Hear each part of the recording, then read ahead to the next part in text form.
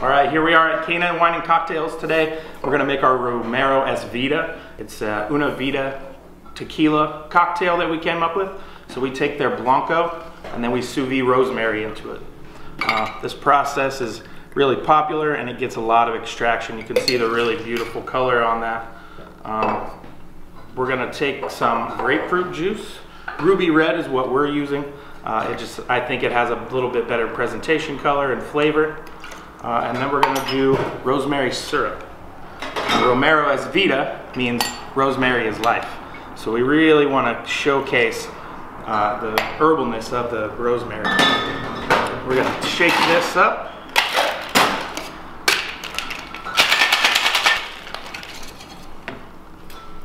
We'll get this in our glass.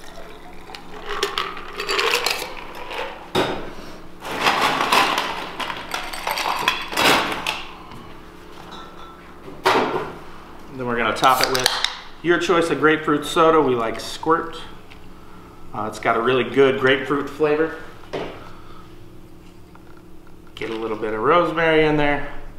And then just for looks, we'll give it a little shine. Romero Es Vida.